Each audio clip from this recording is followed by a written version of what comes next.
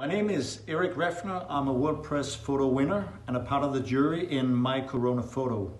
I'm really impressed about the level of images submitted so far. Keep on impressing me.